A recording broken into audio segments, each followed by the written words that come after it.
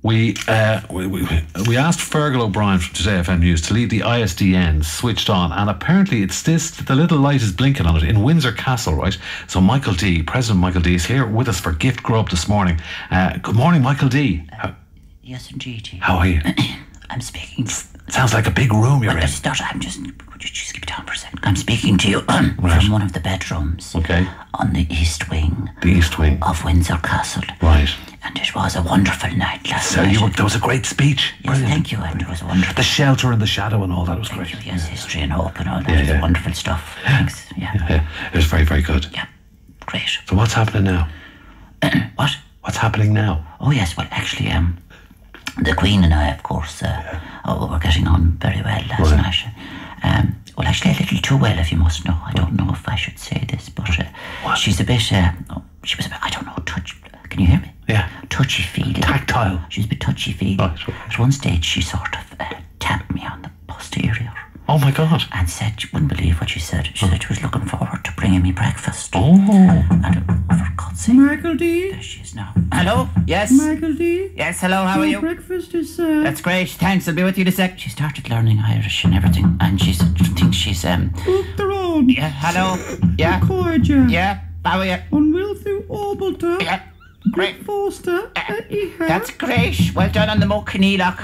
Listen, will you just let me handle Okay, this I tell you what, situation? I'll leave you for a second. Can you move somewhere else? I will, I just Just got get- under the bed. into the bathroom or something. Into the bed. Okay, right. Uh, I'll tell you what we'll do. Let's go to uh, we'll, we'll, we'll, we'll, we'll touch base again with the ISDN and with with uh, Mike, Michael D. In a second. We've got a royal correspondent on the line though, just to talk about how wonderful it was last night, and that is Raj Ronan O'Gara. Raj, Hi. how are you doing? Can you describe the event last night?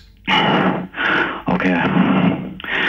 Last night, the President of Ireland attended a state banquet hosted by Her Majesty Queen Elizabeth II, Monarch of the Realm and Supreme Governor of the Church of Keep going. England Keep her going. at Windsor Castle, Yeah. with the tricolour and the Union flag flying side by side.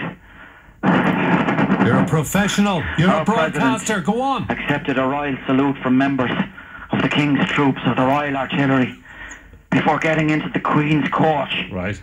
after which This is Her tough. Royal Highness spoke of Ireland and Britain working to, to, to, Are you speaking French there? together towards a brighter few, future. This is hard working, hard work. You are such a pro. Listen, I'll, just I, stop it now? I, I, I'll leave. Stop it now. I can't believe thanks very, Brian O'Driscoll thank, thank, bowed his head. Listen, thanks very much. See you later. Bye bye. Okay, let's, let's see if we can get back there.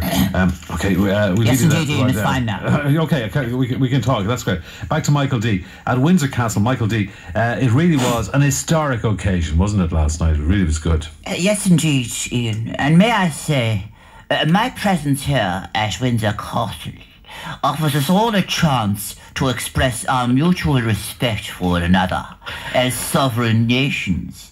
The personal relationship I have developed with Her Royal Highness is of such magnitude. Sorry, Michael D. Sorry. Your voice sounds a bit. I've got a bit my frog in my throat. It sounds a bit fruity.